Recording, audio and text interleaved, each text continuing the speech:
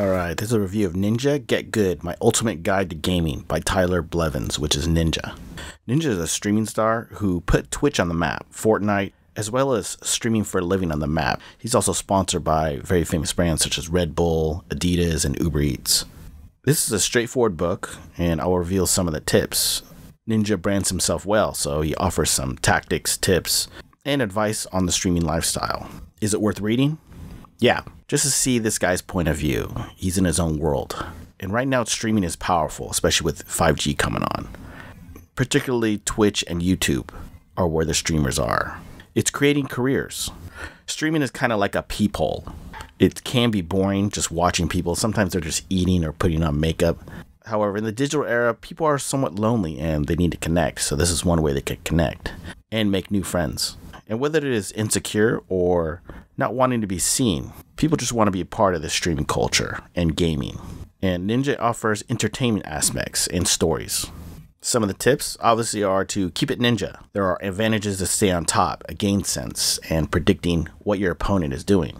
Other tips on some of the hardware are very straightforward and common sense. A compact keyboard, mechanical mouse, wires, low sensitivity for the wrist flicks, wired optical mouses, big mouse pad, and also to have a PC that can handle the frame rates.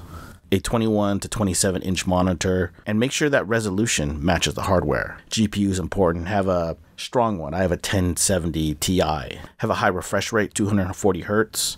Also have a good chair for posture. I have an ergonomic chair. It's about $700 retail, and it's lasted me 10 years plus. It's, it's worth probably take about $200 nowadays. Some other tips are you use flick aim, track aim, have the monitor eye level, exercise your body, your wrists, shoulders, necks. You don't want to be uptight. Take breaks. And I'm glad Ninja addresses some of the issues, and he does mention myths that gamers have to go through, such as the violence can desensitize people, it could be bad for school, and their social skills can be bad. And I do not agree with Ninja in this book. He has to fluff these comments because at the end of the day, he makes a living with games and being a gamer. There can be social isolation, too much screen time, and young people are having that zombie look. Boomers aren't always right. They can be narcissists, but they do got it right. The real world versus the social world will collide. Gamers in general can have issues with listening, consciousness, and a real world connection where there's like a physical handshake or even a hug. And this is obvious, it can be bad for the school.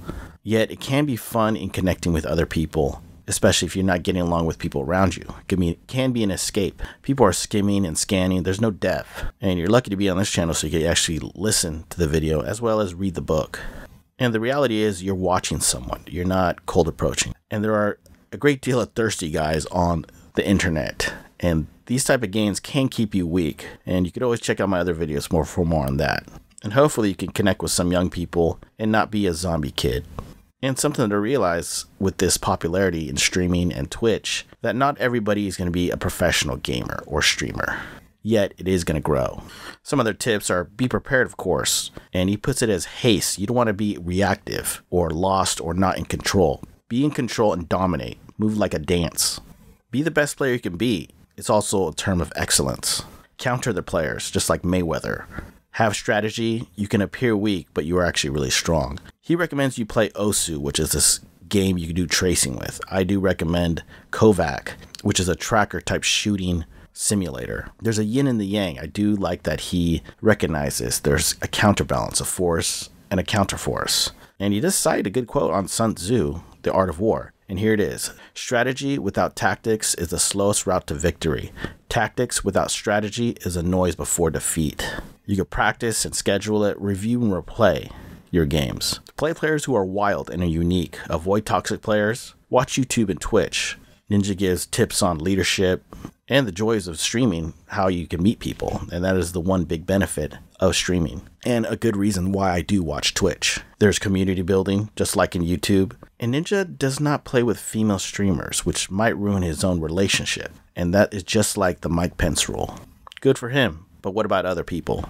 And Ninja has gone somewhat downhill and he has a lot of haters. He's not as popular as he used to be on Twitch and streaming. He's on Mixer now, another streaming service. Everybody kind of gives him credit for putting esports on the map and its heavy growth. Tfue and his personality are taking over the streaming world where it's not so much being a god in playing games, it's also personality. and the mainstream and sponsors are coming in and they're trying to control speech, which is changing the whole industry. And I do recommend everybody get on Twitch. I will have my account posted at some point. Most people are just interested in entertainment and not learning.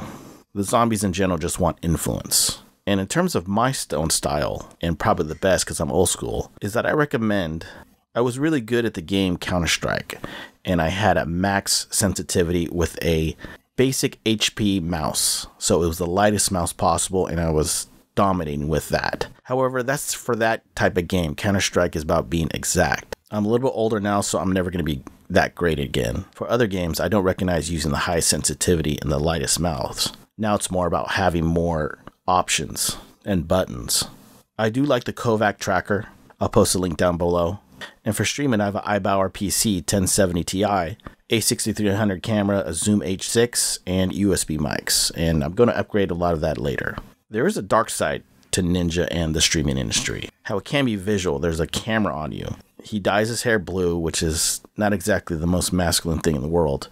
And it reminds me somewhat of Dan Bilzerian, where this lifestyle isn't going to happen with most people. These people are in their own world, just like Justin Bieber. Also, I don't think it's healthy to play eight hours a day. There's a virtual world versus reality. I do find Twitch to be an echo chamber where I will make another video on that and several other videos. Just check my Twitch playlist when I have it available. And these companies take advantage of the gamification to keep you addicted, somewhat as in porn, video games, and Netflix. They know exactly what they're doing. Some of the pros can be hand eye coordination, mapping, improv. And just recently, that guy who won Fortnite, he was a 16 year old. He made $3 million. However, I do think it is good for parents. I'm not a parent, but you shouldn't be playing too much video games. However, I don't want to diss someone's dreams. Also, check the links down below. I'll post anything Twitch related in the future, whether it be streaming gears or new platforms. Ninja is also going to publish three other books a Ninja Notebook and a story mode called The Most Dangerous Game. I'll probably buy that and maybe I'll review it. Also, check out some of these cool YouTube videos I found on Ninja. One of them when we called a little kid a little shit. It went viral, so everybody knows about this. Just go ahead and check the links down below. There's a ninja montage as well as a ninja story. I do like that old ninja better. Now he's too corporate. However, this is still a good book, and I do recommend it. New stars are not so much social media stars, but they're niche tribes that have community. Expect to hear more about this from me and Twitch. I'll go be going to TwitchCon and studying the culture. Twitch is mostly trolls and it is White Knight Central. However, it's fun as hell. Get your game on.